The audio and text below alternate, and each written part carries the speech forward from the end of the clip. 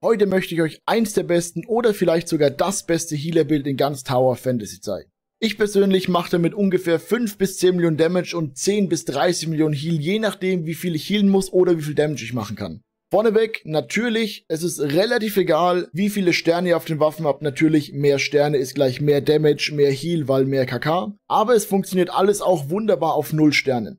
Von daher, da müsst ihr jetzt nicht unbedingt darauf achten, dass ihr mega viele Sterne habt. In letzter Zeit habe ich sehr, sehr, sehr viel damit verbracht, Heal-Builds zu testen, zu gucken, was den meisten Damage macht, wie ich am besten heal, wie ich am leichtesten durch die Operation durchkomme. Denn leider muss ich dazu sagen, meistens laufen meine Operationen, meine Kluften, meine Grenzkämpfe so ab, ich gehe rein, sehe viermal DPS, weil ich selbst auch gern DPS spiele. Kein Healer, kein Shieldbreaker. Dann läuft einer blind rein, springt auf die Gegend zu, macht vielleicht sogar gut Damage, aber stirbt dann, quittet und wir sind zu dritt. So laufen meine Operationen zu 90% ab. Dann quittet meistens noch ein zweiter und wir sind zu zweit. Dann der dritte und dann bin ich allein, dann kann ich eh auch rausgehen. Das Video wird so aufgebaut sein, dass ich euch erstmal drei Builds zeige, die ich persönlich mega empfehlen kann für alle Aktivitäten, die Multiplayer sind. Danach zeige ich euch die besten Matrizen, die man spielen kann, auch die besten SR-Matrizen, denn ich persönlich spiele momentan nur auf SR-Matrizen, aber natürlich weiß ich auch, welche SSR-Matrizen sehr gut sind. Und am Ende zeige ich euch noch von meinem Lieblingsbild die beste Rotation, wie man es denn am leichtesten, am besten spielen kann für die Operation. Mein erstes Team ist Frick, Coco und Nemesis. Frick in diesem Team ist unser Zertrümmerer, der die Schilde aufbricht, unsere Battery, die extrem gut auflädt, ich glaube sogar am schnellsten von allen Waffen, zumindest die ich getestet habe und unser Main DPS. In ihrem Eisfeld ist einfach unglaublich strong. Dazu nehmen wir Coco zum Healen. Dazu benutze ich meistens die Ladefähigkeit. Denn die ist schon extrem strong, heilt sehr, sehr schnell. Und Nemesis, um nebenbei nochmal mit einem Dash zu healen, falls es schnell gehen muss. Wenn ihr Frick besitzt, habe ich eine kleine Info für euch, was ihr auf jeden Fall machen solltet, wenn ihr es irgendwie erfordern könnt. Ihr solltet bei der Wachenfähigkeit Fricks Fähigkeit für 4000 freischalten. Denn Hyperkörper ist extrem stark. Mit Hyperkörper könnt ihr weder eingefroren werden, noch gegriffen werden von Bossen, noch paralysiert werden durch Elektro. Ihr könnt nicht mal geblendet werden von den Gegnern. Sobald ihr da drin steht, seid ihr einfach immun gegen alles, außer Damage. Und natürlich, wenn ein großer Boss auf euch launcht, werdet ihr weggeboxt, logisch. Ihr seid nicht unsichtbar, läuft nicht durch euch durch. Aber sonst könnt ihr euch komplett auf Heal oder Damage konzentrieren und müsst nicht immer mega gut ausweichen. Und habt natürlich im Eisfeld unendlich Ausweichen mit ihr, wenn ihr gerade DPS macht. Deswegen Icing auf jeden Fall meine Empfehlung freizuschalten, wenn man Frick hat. Natürlich könnte man auch eine der beiden Heal-Waffen theoretisch für Pepper austauschen. Denn vor allem, wenn man Sterne auf ihr hat mit 6 Sternen, ist Pepper dann doch schon eine ziemlich gute Wahl und healt sogar besser als Coco mit 1 bis 2 Sternen. Allerdings muss man sagen, du bist komplett stationär mit ihr. Mit Coco hast du wenigstens mit der normalen Fähigkeit noch so einen Ring um dich rum, wo du dich bewegen kannst, während du mit Pepper einfach komplett auf dem Fleck stehen bleiben musst, um zu healen. Deswegen das hier ist die bessere Variante, weil ihr mit beiden Heal-Waffen einfach euch besser bewegen könnt, anstatt nur stationär auf einem Fleck zu stehen. Sollte man zum Beispiel, hier jetzt kommen wir zum zweiten Bild, Frick nicht besitzen, ist zum Beispiel auch Samir eine ziemlich, ziemlich gute Wahl. Samir lädt eure Entladungsfähigkeiten auch extrem schnell auf, ist natürlich nicht so mega stark fürs Schildbrechen, aber mit drei anderen Leuten sollten die Schilde irgendwie aufgehen. Deswegen zweite Empfehlung wäre für mich Samir. Eine andere Option wäre zum Beispiel noch Crow zu nehmen, denn er kann auch ziemlich gut aufladen und extrem Damage raushauen. Aber noch so ein kleiner Geheimtipp, was ich persönlich empfehlen könnte, wäre hier Huma.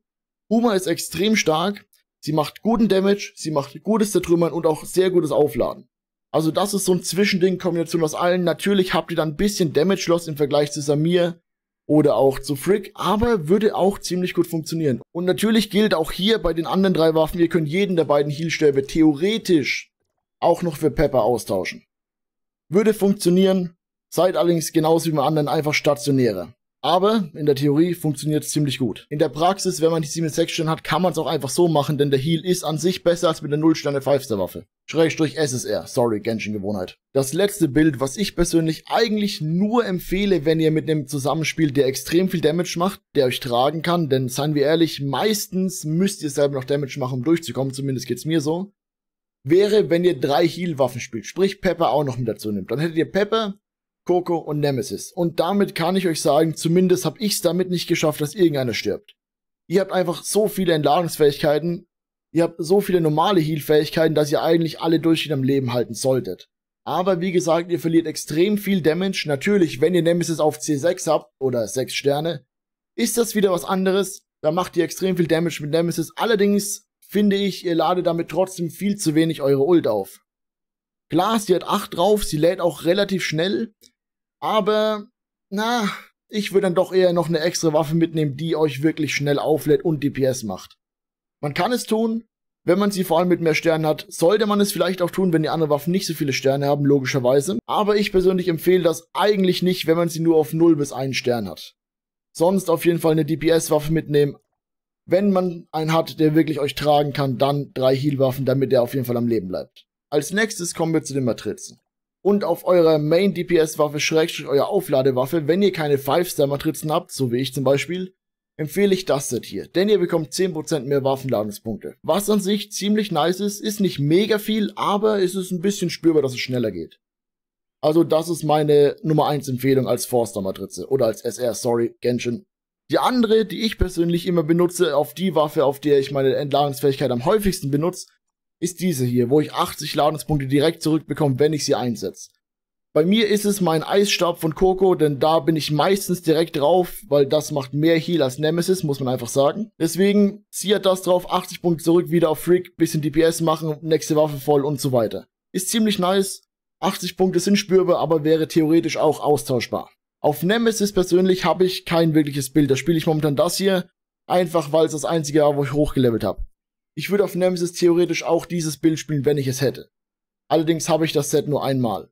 Bei den SSR-Matrizen habe ich drei Matrizen, die ich euch empfehlen möchte. Und zwar erstmal für all eure Healwaffen logischerweise Kokos-Matrizen. Die sind das Beste, davon am besten das 4-Piece, denn das 2-Piece allein gibt euch schon 10% Heal. Das heißt, wenn ihr zwei davon habt, solltet ihr das schon mal auf jeden Fall drauf machen. Und das 4-Piece gibt euch noch 12,5% Angriff für 6 Sekunden, wenn ihr euch oder Teammates heilt. Und ich meine, ihr seid der Healer, das heißt, das passiert unweigerlich. Richtig gutes Set, kann ich nur empfehlen. Ich grinde selbst noch für leider noch kein Glück bis jetzt.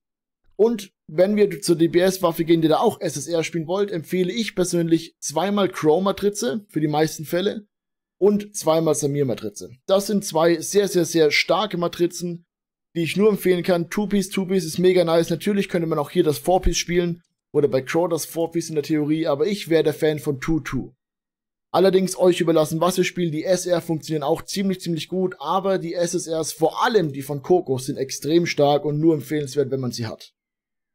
Jetzt kommen wir zur Rotation. Ihr seht schon rechts oben, das erste, was ich euch allen empfehlen möchte, ist rechts die Lebensbalken anzumachen, wenn ihr Healer seid.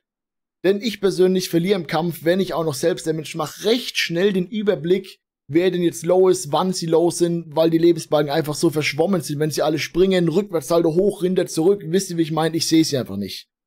Deswegen meine Empfehlung, rechts auf die Flagge drücken, Lebensbalken anmachen, dann seht ihr immer auf jeden Fall, wann einer low ist, wann er Heal braucht. Und erst dann würde ich auch auf viel gehen, sonst durchgehend Damage machen. Natürlich, nicht vergessen, es ist leicht delayed, der Lebensbalken oben rechts, aber trotzdem ein sehr, sehr guter Indikator. Damit fahre ich sehr gut. Das heißt, ihr seht meine Rotation, ich mache mit Frick Damage, bis ich sehe, jemand ist low, mache mein Heal rein mit Coco und dann mache ich theoretisch weiter Damage mit Frick. Das ist die ganze Rotation, das ist nicht gerade schwer. Wenn ich stationär sehe, meine Teammates sind am Boss dran, einfach Heal-Stab von Coco reinmachen. Wenn ich allerdings sehe, jemand ist extrem low und es muss viel schneller gehen als sonst, wechsle ich meistens auf Nemesis, um einen schnellen, direkten Heal zu machen, auch die Leute, die wegrennen, weil sie low sind, noch zu healen. Denn klar, wenn ich Millimeter bin, würde ich auch nicht vom Boss stehen, so wie jetzt. Komme ich mit Nemesis rein, dash dann ein, zweimal hin und her, dreimal vielleicht, bis sie voll sind oder für mich voll genug sind und dann geht's wieder auf Frick weiter Damage machen. Das ist die komplette Rotation und ich kann es jedem nur empfehlen. Die Kombi ist an sich mega strong, ziemlich einfach nachzumachen und extrem nice. Das war es auch schon mit dem Video. Ich hoffe, es hat euch gefallen, war informativ und hat euch vielleicht sogar weitergeholfen. Wenn ihr weitere Fragen habt, ja, schreibt sie gerne unten in die Kommentare oder sogar Verbesserungsvorschläge. Ich bin offen für alles. Wenn ihr es natürlich direkt wissen wollt und nicht auf meine Antwort warten wollt, könnt ihr auch gerne drüben bei Twitch vorbeischauen. Ja, da bin ich momentan jeden Tag live, twitch.tv slash blauball, ja, gerne vorbeischauen. Sonst wünsche ich euch noch einen schönen Tag und man hört sich im nächsten Video. Haut rein, Tüdelü.